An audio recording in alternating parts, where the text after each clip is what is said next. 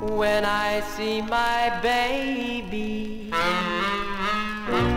What do I see? Poetry, poetry in motion.